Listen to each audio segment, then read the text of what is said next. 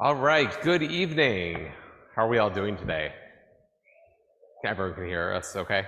Um, well, hello, welcome. Um, my name is Dan Miller. I'm one of the post-secondary counselors here in the College Career Center. Maybe I'll, we can all introduce ourselves really quickly.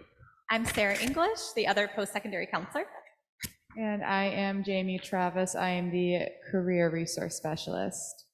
We are really excited you're all here with us. Hopefully you're here for tonight's program, planning your future for sophomore family. So hopefully everyone here is a member of a sophomore family here at Stevenson. Um, thank you to those of you who came in person. We appreciate seeing live faces. For a couple of years, we were only on Zoom, and we've, you know, we're circling back to being in person, and we're on Zoom. So hello to everyone who's joining us, um, either live or maybe watching this on demand with some popcorn at home. Um, just a few housekeeping notes for everybody. Um, for those of you that are on Zoom, it's a Zoom webinar. So um, what that means, again, if you're a viewer at home or if you guys watch this later, we can't see you, but you can hopefully see us. There is no ability for us to use the Q&A, so we won't be using that function tonight. And we will publish our slides and a video of the presentation for everyone that, is here and watching online within about a week. We'll send it to our communications team hopefully tomorrow. So if you want to over spring break, plan to rewatch this presentation, have at it. It'll be there for you on our College Career Center website. And those are our main housekeeping notes. This is our agenda for our time together. We're going to talk about some post-secondary pathways to kind of talk about what the next couple years looks like and really beyond high school. We're going to discuss and do a deeper dive into the program Naviance, which hopefully you guys as sophomores have some familiarity with, that we introduced it to you guys last year for college and career information. It's our portal here at Stevenson. So we'll kind of give you a deeper dive with uh, kind of how to access it and actually practice playing with it if you haven't had that opportunity recently. We'll also discuss career exploration, which is a big part of the Naviance platform. And we're actually going to do a very light beginning of how to begin the college search, kind of some things to think about in terms of factors that might be relevant for you guys as sophomores as you begin to think about becoming an upperclassman, which you'll be. You'll be rising juniors in just a couple months and um, we have a short, you know, evaluation survey at the very end. So that's kind of our short agenda for tonight. And uh, again, Dan Miller and myself, Sarah English, we're the two post-secondary counselors. If you happen to have older children that went through this, um, uh, current juniors actually are under this, but seniors are above, graduated students, you were able to kind of pick between us. Um, and starting this year with our, our juniors and moving down, we really now have kind of defined our scope of our work a little differently. We tend to get students that maybe played dad and mom against each other. Dan would work with them and then they would come around and talk with me and we just kind of worked with whoever. But now they've actually moved our offices and intentionally aligned us with counselors. So just like every student here has a counselor and they have a social worker and a psychologist and a dean, they now also have a post-secondary counselor that's aligned with their team.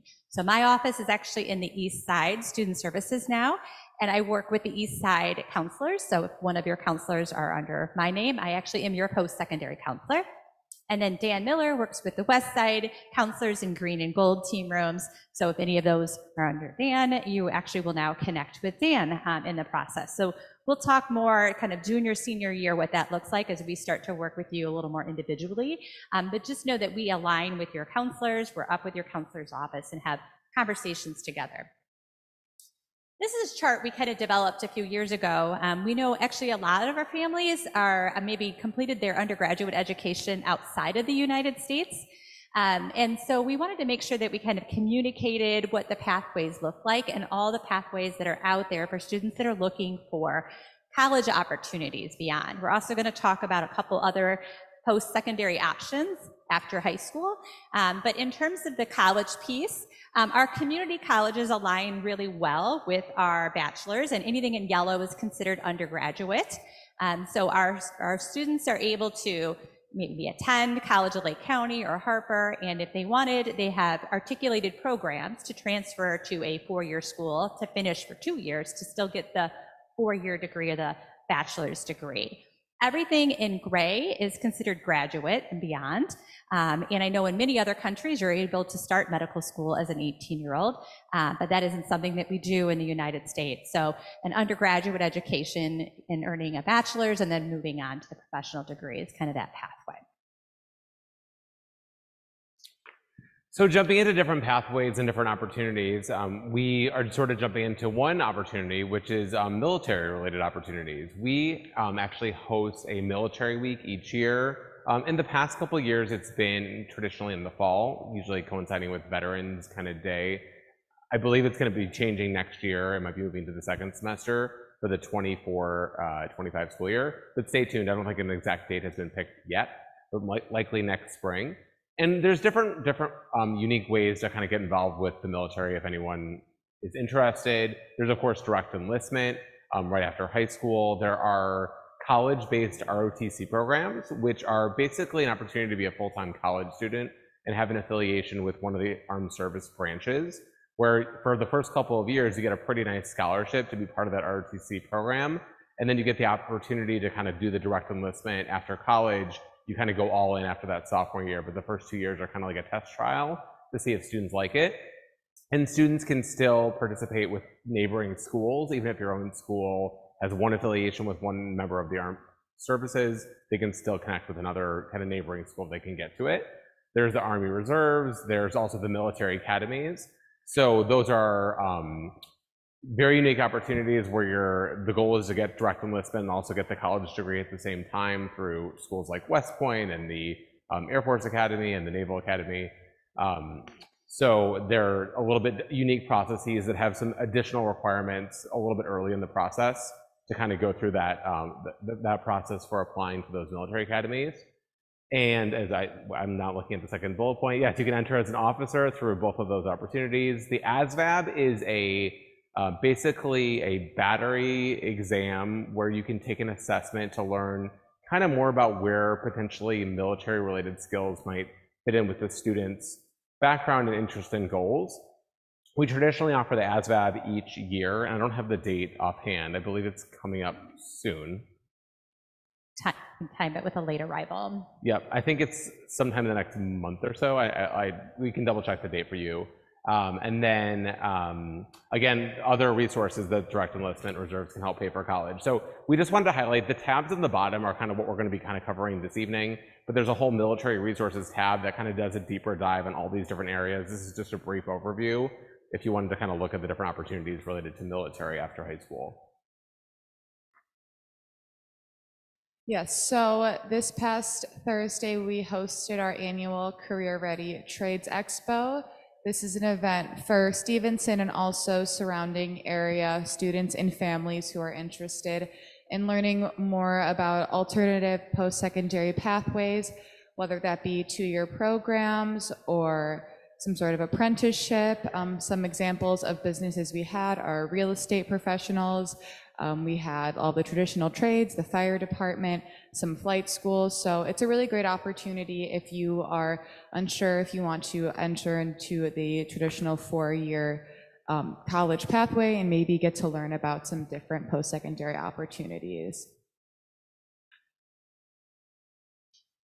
Okay, and this is our website, which we're going to spend a little bit of time kind of profiling. We have a lot of resources here tonight for our sophomore families and a little deeper dive. Our career information is there as well as our college information um, and lots of FAQs, lots of videos that can give you access to our YouTube channel as well. Um, but today what we're going to do is take a few minutes to really walk through Naviance. Um, freshmen all have accounts to Naviance. These accounts um, are the same logins as their school login. So it's going to be their email and their password connected. Um, they probably were in it freshman year for a profiler of a career. There's a lot of career interest inventories in here. We really wanted to take a few moments and show you some of the highlights of Naviance and some of the pieces that go with it. If you're Zooming at home and have access to your student's iPad and they're sitting next to you, we definitely encourage you to play along with it as we're going through the demonstration you brought it with you tonight, please feel free to break out your iPad together as a family so you can navigate this and play with it as you're kind of seeing the demonstration. So we have about a seven minute video that's going to show you how to go in. And we've made this a video versus live because usually our internet struggles with us. So we don't want any lag.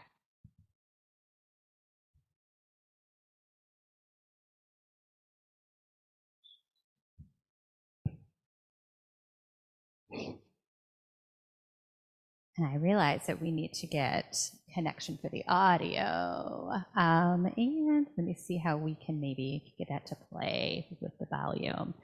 Eric back there, I am through. Are you able to turn it up back there?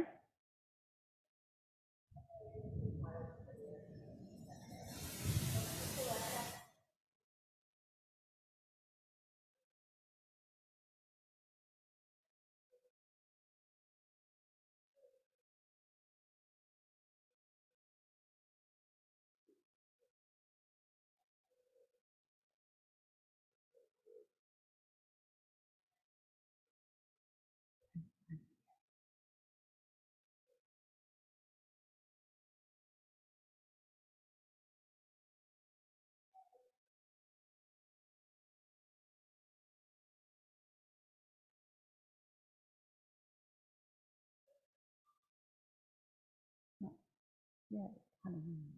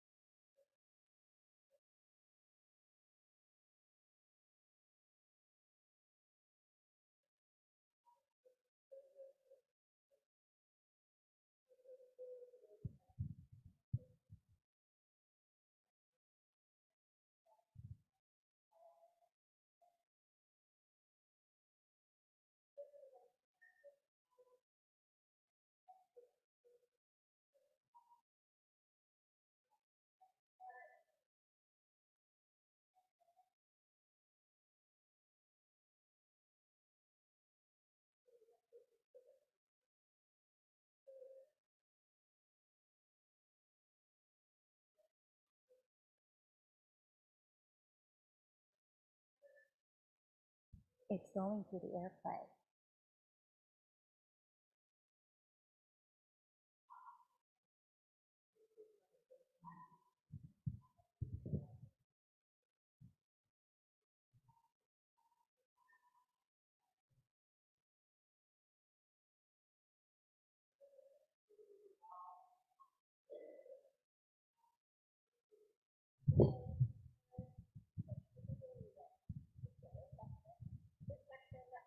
Will be the comments that Mr. Miller, Ms. English typed.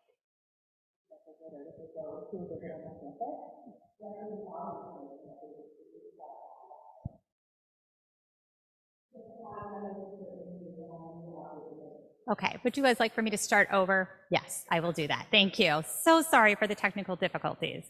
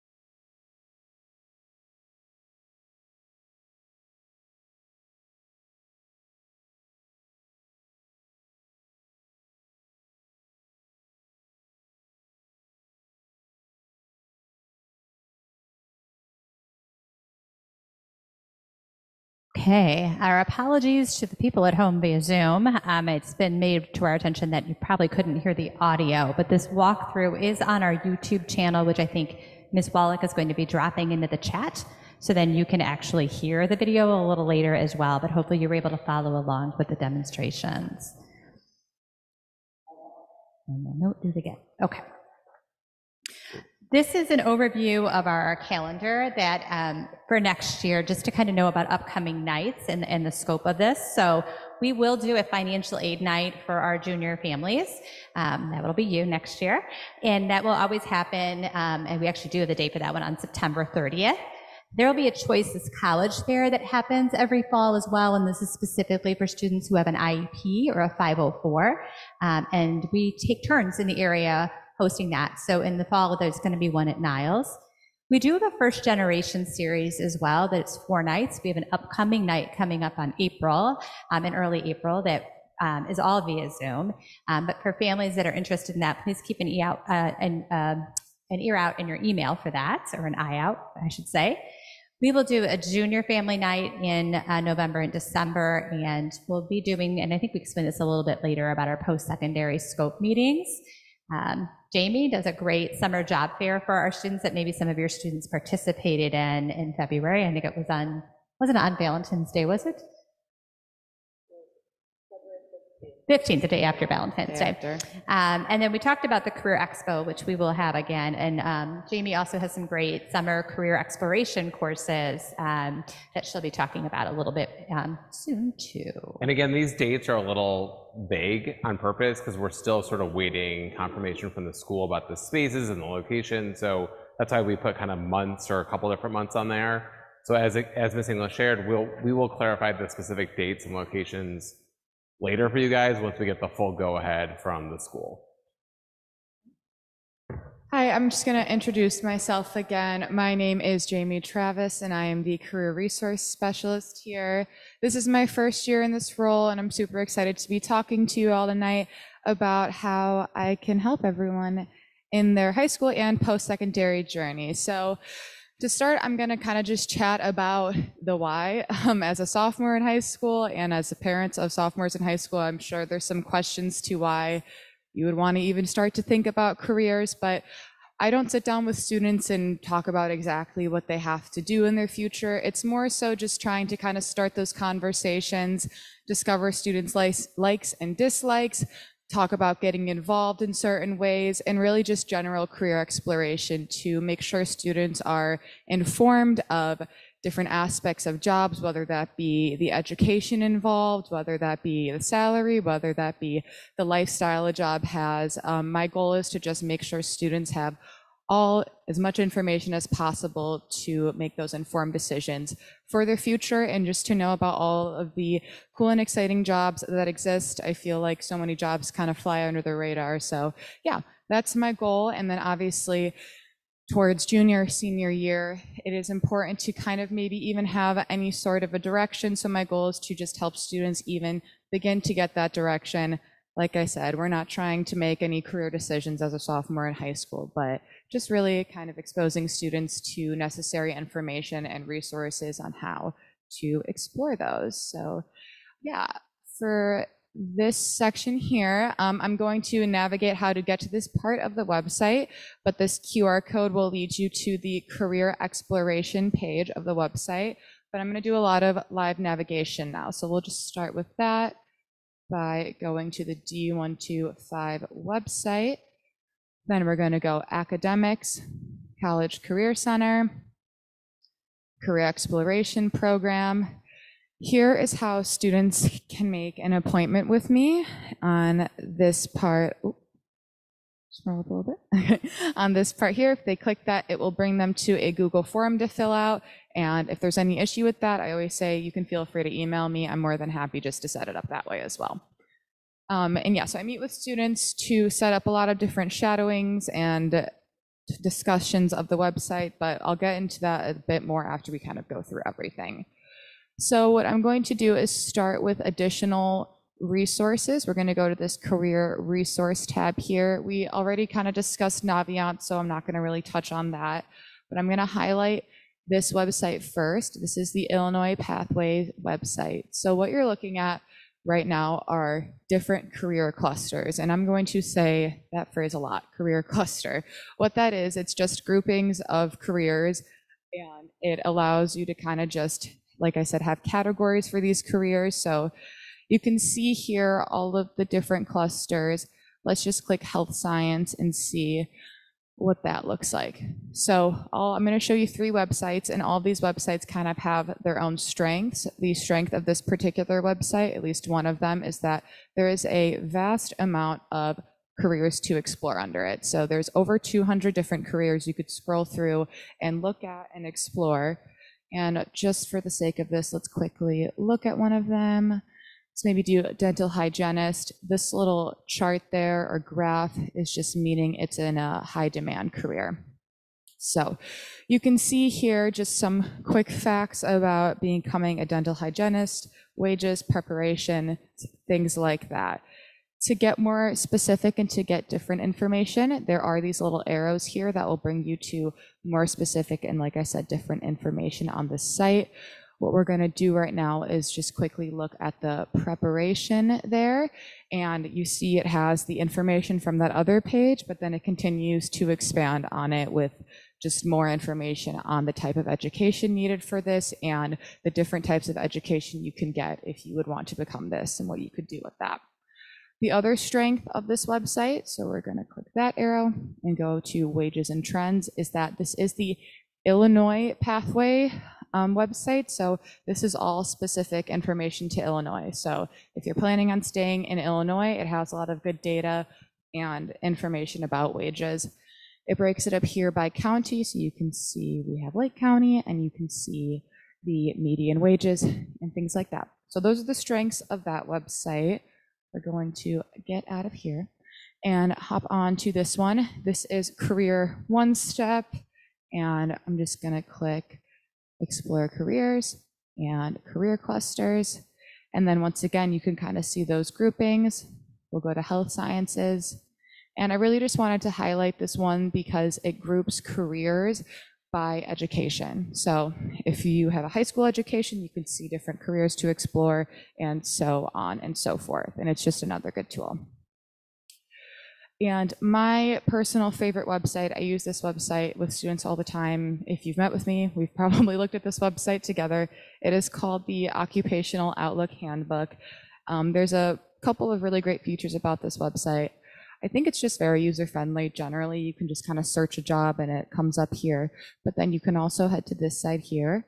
Keep using the healthcare as an example. So on this page, there's two unique features. If you click that, it does that same type of grouping by um, education level, and then this here will group it or organize it, I should say, by salary. And then let's just click on one of them. We'll do the phlebotomist. And yeah, so you can see here kind of a summary page. You get the median pay, type of education needed. And then if you click through all these tabs, you can get just more descriptions and information. Um, yeah, so you click through all those. The one I wanted to also highlight is the similar occupations tab.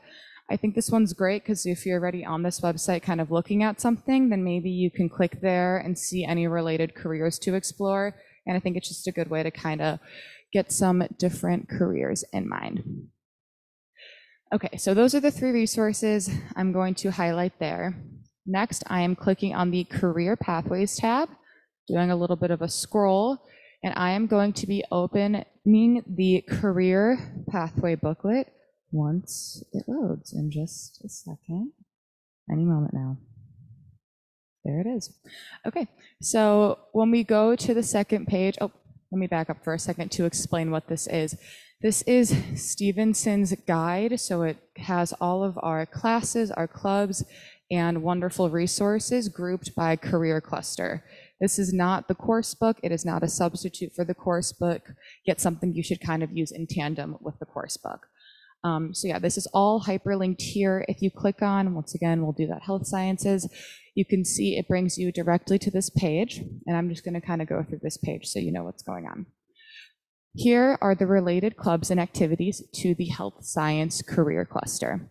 I'm not going to touch any of these or click any of these, but if you were to, it would bring you to the corresponding club page on the Stevenson website to get some information about whoever the sponsor is of the club and how to sign up for it. Here are some of those career resources we discussed. And then here it discusses recommended college paths. These are not the Stevenson requirements, just a heads up with that. And then here you have um, grouped by grades, some recommended core courses, and then here you have some class considerations. You can think of those more so as electives. Once again, you are not expected to do all of these, but it's just kind of an FYI. Um, I also wanted to highlight, or I guess say that if you're a student and you absolutely know you want to do something in the health science, it's still very important to try to involve yourself in things you genuinely enjoy outside of that as well. If that's taking a cooking class or joining the animal welfare club or something like that, it's very important to still pursue things you like and obviously still pursuing those career interests, but involving yourself in sports and extracurriculars and being just a very well-rounded individual is still just very important and you don't just have to do things to pop it on the resume. Okay, so yes, so we are going to go to a different section of the website called the, the Student Career Connection site. Once again, if you've met with me, we have probably covered this as well. Um, so this is kind of the implementing or the kind of next steps once you get a little bit more into your career interest. I like to go through this whenever I meet with students because I find a lot of this information is kind of unknown a bit and I think it's really useful and helpful. So when you click it, it'll just bring you to the part-time jobs tab, which is pretty self-explanatory, just gonna be some part-time jobs. It's all linked and it'll bring you to websites of the applications career days and events. Some of these are internal, meaning Stevenson hosts them, like our lovely summer job fair we held. And then some of these are going to be external um, events. Let's say, like, let's pretend you want to be a pilot. We post things and advertise things out, like this American Airlines Career Day. So that's what lives under there. To kind of discuss shadowing now. So we do have job shadowings. I am the person to meet with if you're interested in these. What this is, is a one-time partial day or full day in-person shadowing experience. If you scroll through these, you can see, let's do, set students up with this one often, so we'll click that. Um, I'll go through this quickly, but so you can see the experience type, job shadowing, that means it's going to be in person. You can see the title of the job, the career cluster, and the career pathway, and then a little bit of a description about what the experience would entail. How to set these up, students just make an appointment with me. On that Google form, there's a section asking if there's something on the website you wanted to talk about, and then I'll know that ahead of time, and we meet in person, we talk about it and see if it's a good fit. And then from there, I help facilitate it and set it up. There is some liability waivers and things like that, but that's all kind of down the line. And if that's the case, we will, me and the student We'll discuss that. And obviously, as the parent, you'll be looped in. So if the in-person shadowing is not sounding like something the student wants to do, or if the student wants to, let's say, talk to someone like a marine biologist, and not many marine biologists are around the area, what we do have is the virtual meets tab. What these are are pretty much Q&A sessions, discussions with career professionals. If you take a look at this part of the website, you'll see there's a lot more professionals under it, just simply for the fact um, that a lot more professionals can offer a discussion versus an in-person shadowing experience. Once again, they can meet with me to set these up. I'm sometimes involved in these calls if it's during the school day. I'm happy to have a student come down to my office and we can talk to the professional together, or they can be after school as well. Okay, so this is one place to look into internship and research and work-based learning experiences. Um, the internship word is one that holds a lot of weight, and while there are some internships that exist for high school students, there is not a, an abundance of them. So this isn't something that's extremely common to come by and really highlighting the importance of just being involved generally, if that's in a club, if that's volunteering, if that's um, just really immersing yourself in your coursework, if that's doing a research program, if that is doing an internship. Um, all of that is very valuable experience. So don't let that internship word, uh, don't, don't get too stuck on that, I guess I should say. But these are grouped by career clusters, and this is one place to look to kind of hop around for a second. These are volunteering opportunities. We have some information on how to volunteer at Condell, Northwestern, and then Vista Health Systems. I only highlight those because I meet with a lot of students who are interested in that specifically, but all the other ones on there are super great as well. Um, and to kind of jump back into summer programs, research programs as well. This tab here is a new tab we added, so I'm just going to briefly go over it. If you apply to some of these programs or are interested in them, sometimes they'll ask for a letter of recommendation. All this is is discussing how to get that letter of recommendation. Okay, so this tab here um, has this link here, which I'm not going to click on. We discussed the Naviance, and then I'm going to briefly go over this page here once it loads again, which I'm sure it will do very soon. Um, but once it loads, you'll see, but this is a resource here that we created at Stevenson to help group. It might not load, but it's a resource we created to help group the different research programs and um, opportunities. So a lot of these are through, there we go. A lot of these are through colleges. So some of them have a cost, some of them don't. But just to highlight that this exists, it's um, updated for this year as well. So you can see that and I just want to say again, it is not necessary to participate in these, but if you are interested and this is something that fits into your schedule, it's something you're curious to do, this is a resource that exists. And yeah, so if that's, that is that there, we're going to go back to here. Skip through these really quickly. Almost done. Okay. A couple more things. This is a QR code to make an appointment with me. It will only work with the student's school email. I also help students curate and edit resumes. That's something I help with. If there's any questions about the website um, that I just showed, I'm happy to talk about that, general career discussions, and also um, we've highlighted the summer job fair. We I also host and plan in uh, virtual and in person large career speaking opportunities. I sent out an email last week. This Thursday, 7 to 8 p.m., there is one with a neuroscientist. They're going to be doing a presentation virtually and then answering some student questions after. If you have any questions about that, please email me. And then we also have our summer career classes. We have careers in STEM, healthcare, business, economics, and law. And what these are are two week career exploration courses that combine both um, in person speakers and field trips. So, for example, for the law one, we would have, let's say, a criminal defense lawyer, a judge, and then some of the field trips we're planning are to go to DePaul Law School.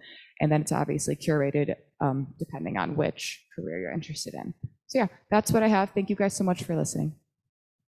Uh, Ms. Travis has done such a great job with the program. We've been excited to have her as part of the team. And I feel like um, as sophomores, I have a freshman and sophomore here myself, and as an older student that has gone through this process, it's easy to kind of get lost in the chatter and hearing all the things and thinking that you need the set list if you're looking to apply to a four-year school. And um, I read, and I know Mr. Miller did too, the book Never Enough. I don't know if many of you are familiar with it. I know we had um, um, Jenny uh, Wallace to, to speak on behalf and FAN as well um, in our consortium. But I think it's really important for students and for families to kind of align this to thinking about what gifts does the student have? What are their strengths? What are their gifts? And what are ways that they're able to share that with the rest of us and really focusing on that in an authentic way versus feeling like there's this checklist of things that you need to do to get into a particular school. Um, and that kind of transitions us into this next idea of building the team. As we work more individually with juniors second semester, I really liken this to how they've transitioned into Stevenson, right? There's a whole team of people that helped your student come into Stevenson. And there's a whole team of us that help them within steps after Stevenson, whatever that might be. Obviously, we're hoping at this point the students are now the ones kind of driving the bus the next two years.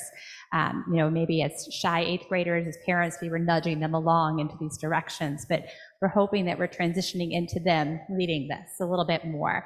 But parents are and their friends and teachers who have all been through this process, but will be listening to them every day as they go through their options. Their counselor is also part of that team, and as I said, we are meeting with them as well. And the college admissions counselors are part of that team. We work with amazing humans on the college side that represent their schools. There's over 150, 200 schools that have regional reps from all over the world that are located in Chicago that are here to connect with our students as well. And we'll talk about more of those avenues coming up. As we start to move forward and talk about students that are looking at the four-year college opportunity, we really talk a lot about fit. And I'm amazed at how many juniors that I meet with right now and talk about, you know, have you thought about how size might impact your experience or the location or the setting of the school and really thinking about that deeper. So when we talk about finding the fit, we believe that students will flourish where they feel most comfortable. And fit is in three ways. We talk about it as an academic fit. Do they have the majors and the opportunities around them that they're interested in? We talk about a social emotional fit, which a lot of times is felt when they're on the college campus and they see the student body and they see the setting and the surrounding area of the school. And we talk about a financial fit too, which is very important as well. Still you. Me. um, so as I kind of alluded to earlier, um, academic rigor is part of it, knowing like the, the, the environment of the school. Does it feel competitive in nature? Is that something that fuels you? Is it something that's more inclusive, more collaborative, more hands-on? The size of the school, which I think you know, if we had a dollar for every time a student says in our office, I want something bigger than the size of Stevenson, um, we hear that all the time, but we really do encourage students to think about size a little bit differently. Like, do you feel okay in a lecture hall that's two, three, four hundred in size? And navigating the large campus to find the professor's office hours across the campus that might even need a shuttle bus to get there. Um, or do you prefer classes that are all under 50 and the professor knows your name? So really thinking about size. And I think the crazy fact that we share is Stevenson is actually bigger than most colleges in the nation. We actually know all the big names because there's not actually that many bigger ones. Um, they're a little more finite, but there are a lot more of those that are under 5,000 students or under 4,500. The location of the campus has become part of that factor too. Um, again, we talked about urban setting, city. Are they okay navigating that and, and being in an environment like that? Do they prefer an oasis of a college town where everything's there because the college is there, but not much of anything else? The distance from home, you know, how often do they want to come home and how do they get home? You know, is it a two hour ride from the college campus to get to an airport that they're navigating to themselves for themselves? I have a friend um, who's had two sons go through this process, and she says she knows her son, like clockwork, every six weeks. He needs to come home, get away from the roommate, unplug from college, get a little home cooked meal, some help with some laundry, and then they're ready to go back and face the next six weeks. So knowing that about yourself, some reflection. Areas of study, personal factors, whether that might be um, religious factors, or you have an IEP or a 504, or dining plans and accommodations for allergies. There's a lot of personal factors that come into that. And cost is really important too, which we'll talk and elaborate more on next year through the financial aid night and our junior presentation. But we really do believe that there's a, a, a healthy conversation to be had about you know, what is a realistic number as the family feels about, and then as schools maybe are higher, then understanding that have to see how the cost comes in into play if they can bring that cost down um, in that process. So I think really having that conversation around cost can be really important as well.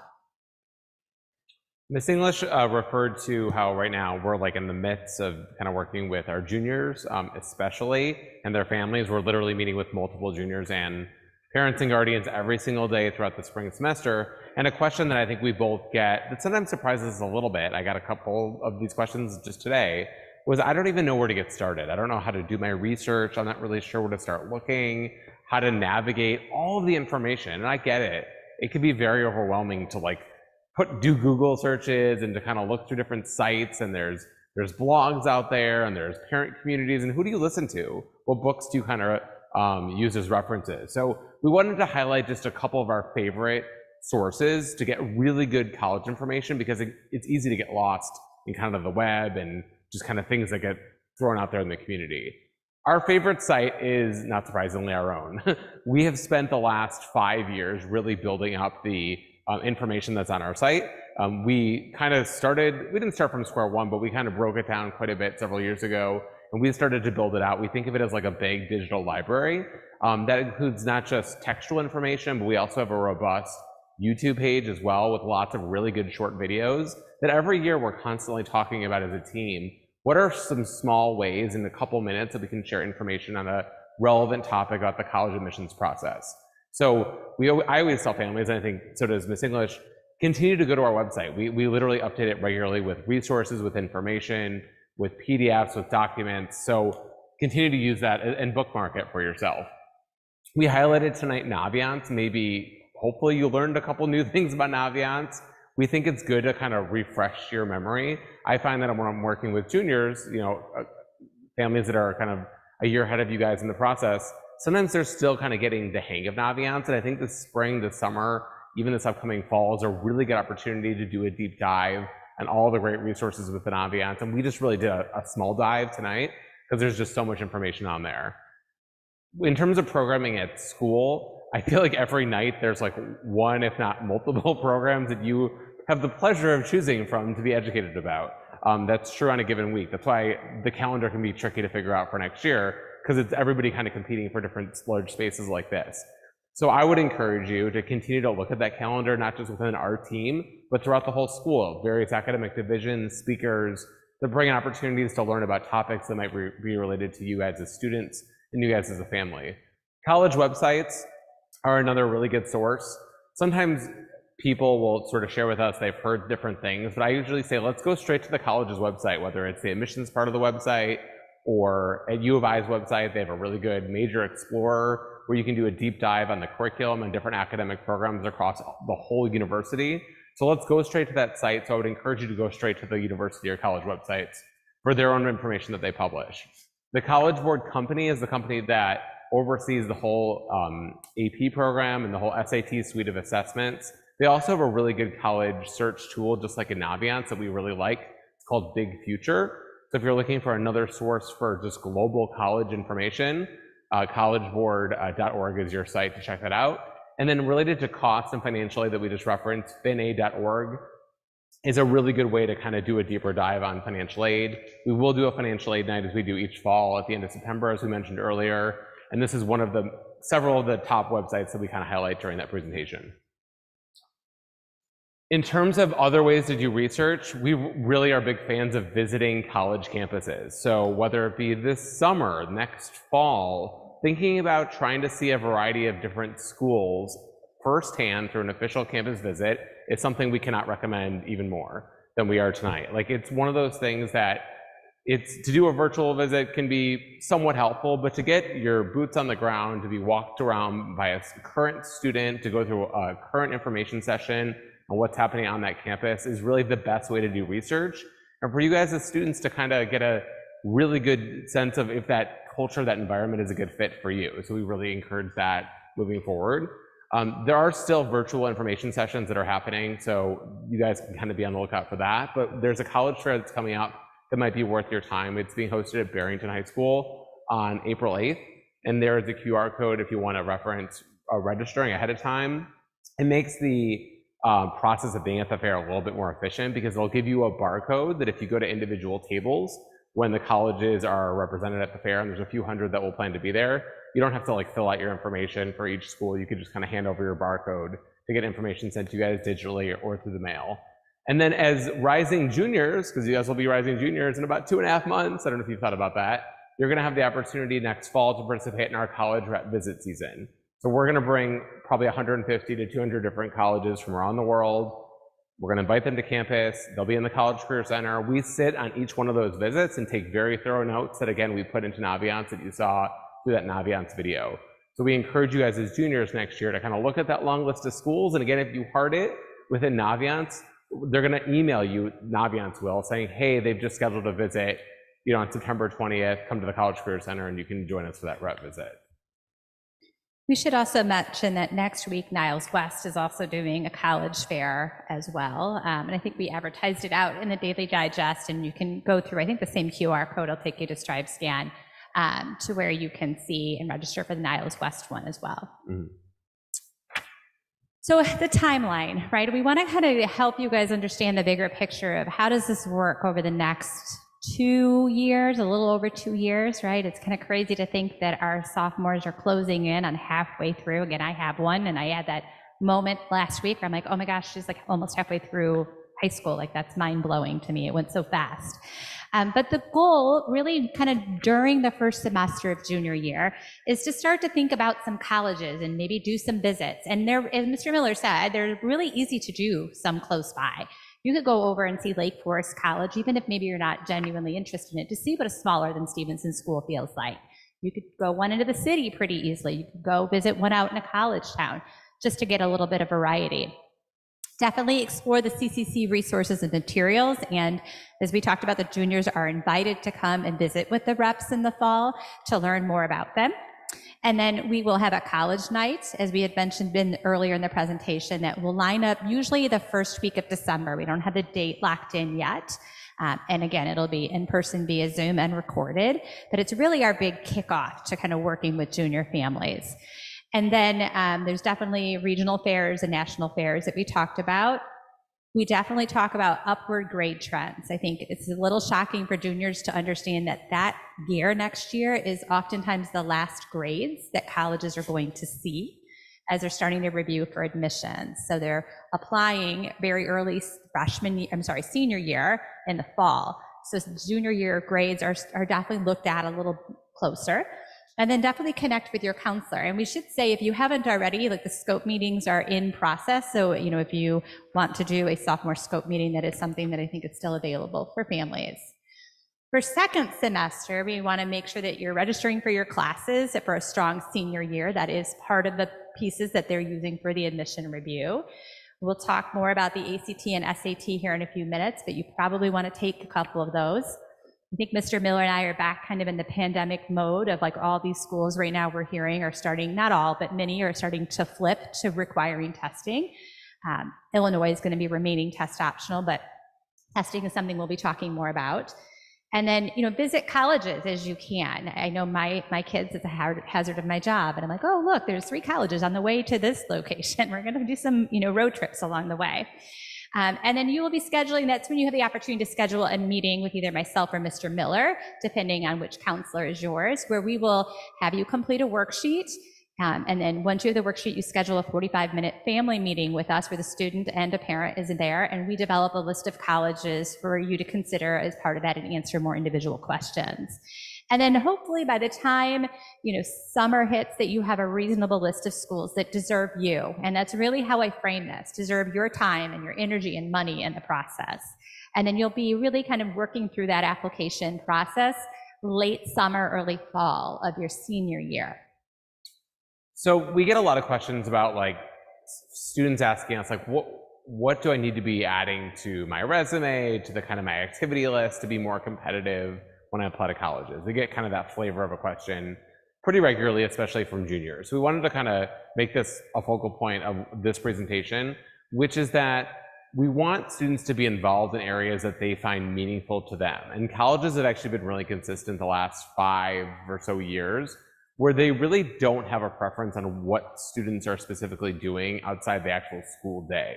So whether that's a club here at Stevenson, whether it's something through your church, your synagogue, through a, um, a community service organization, maybe you have a job or will have a job in the future, maybe you're helping out at home with um, family members of some kind, regardless of what the area of involvement is, they treat all of those kind of equally. But what they really value is how, how how, to what extent you find it meaningful for your own personal experience and growth.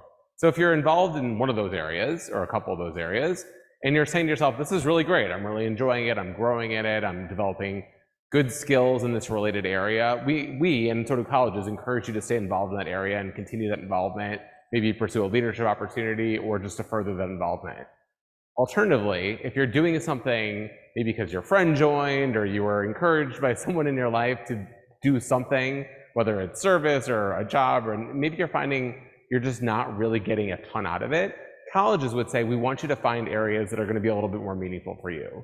So colleges in general are looking for, as we put on the slide, the nature of the commitment, not necessarily like the number of activities.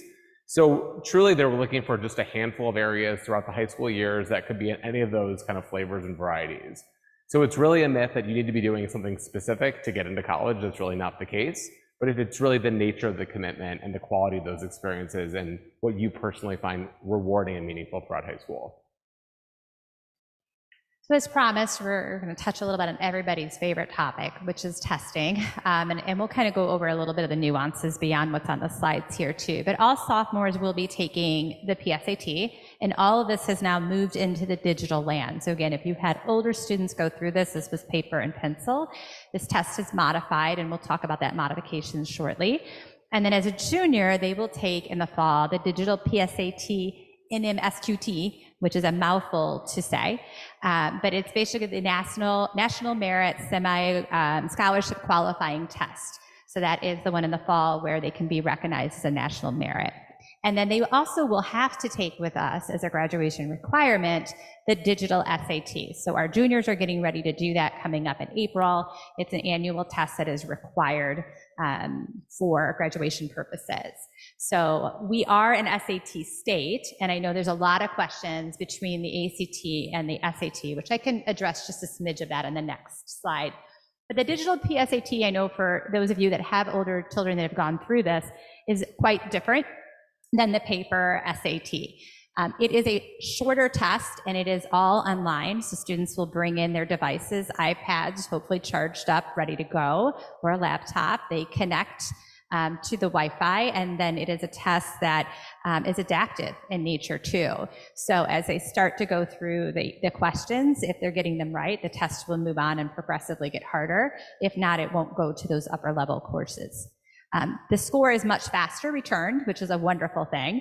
And the calculator is now on the entire math section. So previously, there was a non-calculator and a calculator part of the SAT, which a lot of students didn't love. Um, oh, my apologies. Um, but now it is allowed on the entire math section. Um, I also am hearing feedback because the um, first digital SAT just happened. This, the reading passages are a little shorter and a little more relevant, so the students are enjoying that. Um, they do get to flag and annotate on the test, but I do hear that's a downfall of the test for some of my students. Some students really prefer the paper and being able to mark it up, and they get slowed down by trying to use the annotation and flagging. There's a timer built right in. I've had another student share with me they really appreciated that there's not trying to strain to find the clock in the room. There's a timer right above them. Um, and then Khan Academy, this is really important to students who are going through this, has a free customized test prep built in. So it will take their students' PSAT score, pull it in, and then customize the test prep for them and simulate the digital part of it, which is really lovely. Um, and then breaks are now individual and students can move around as they and leave as they finish, which is a very different testing environment. The ACT is not obsolete. Um, I went into this year going, gosh, I don't know why anybody's going to want to take the ACT anymore. It's longer, it's paper. Um, there's a science section that lives at the end that sometimes students struggle with because they're tired and it's all these charts and graphs. And it's also a faster paced test, about a minute a question. But some of my students are reporting to me, my juniors this year, that they still are preferring the ACT because of the paper factor alone. Do better having the paper test in front of them and the digital is tripping them up. Um, as we talked about, um, most schools are test optional. There are a handful that are going back into the required land. And I'm at the point where I'm just about to like lose the, track, the tracking ability in my head. We just had one announced two days ago. University of Texas Austin is going to be requiring it. Um, locally, Purdue is the only one in the Big Ten. Michigan is continuing to be test optional. Um, any public in Florida, Georgia, or Tennessee is requiring testing. MIT and Georgetown has for a while. Dartmouth jumped back into testing, and then Yale announced a couple of weeks ago that they're test flexible because we need a new term in this process, uh, which means they will take the ACT, the SAT, or all of your AP scores. You get to pick. Um, But then we have on the other side of this schools that are test-free or test-blind, um, and that's like all the public schools in California won't take any testing. So we definitely have the range for your sophomores. Our encouragement, I think, is the same. Do the best you can, maybe take it a couple times, but don't obsess on it. I constantly tell students in my office that if you're trading your day-to-day academics to study for, you know, your biology class or your US history class or whatever class it is to test prep, don't. It's more important to have a strong transcript and to do well there. Testing is a sprint on a Saturday morning. Your transcript is your marathon of what you've been doing for three years. And one of our most favorite cherished reps always used to say, and I think it really hones in, test prep is not meant to be a co-curricular activity. So if you're testing, and prepping more than you're enjoying some of the other things in your life, like that, that isn't what it's supposed to be. So please keep that in- balance in that. If testing is, provides any type of anxiety or creates some worry for people, we're just giving you guys kind of a general heads up for this topic because it's something that you guys will have to do with the with the PSAT, which is really just a practice SAT in the fall. So there's really nothing to worry about right now. Um, so if your head is spinning with the dates and the changes, like that's our job. We'll handle that. We'll give you a much deeper dive on like the state of where that world looks like in the late fall when we do our big junior program. So we don't, we don't need to sweat this topic too much because it can be heavy and a lot to kind of just process. So just one step at a time, we're just giving you kind of a preview of kind of what's to come down the road.